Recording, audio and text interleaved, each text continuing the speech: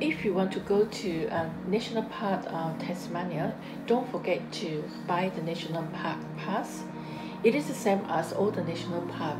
In uh, the Wineglass Bay is located in the Freycinet National Park, where you need to buy the um, uh, National Park Pass before you enter at the uh, counter, uh, visitor information center there.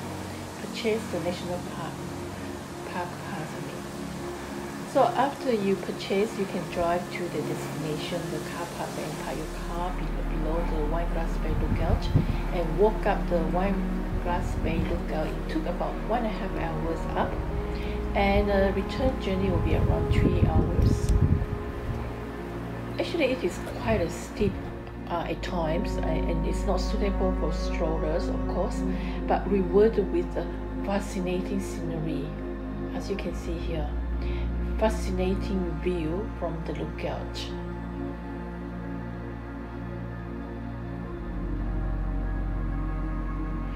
Wineglass Bay is not accessible by car because it is inside the national park.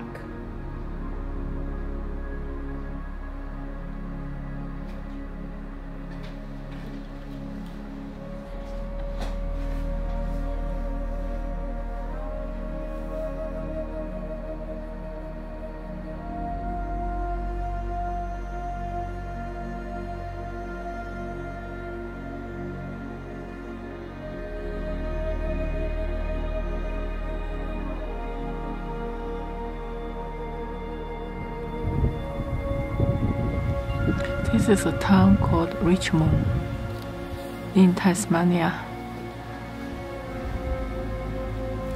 Beautiful town. I love the beach.